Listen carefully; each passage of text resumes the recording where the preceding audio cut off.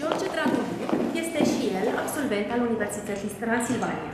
George îmbină activitatea didactică în învățământul preuniversitar cu cea de compozitor, textier, aranjor, având circa 70 de piese prezentate în concursuri naționale și internaționale. Rolurile de operă interpretate sunt Canio din Pagliacci de Leon Cavallo, Turidu din Cavaleria Rusticana de Mascani și Marico din Trovatore de Verdi.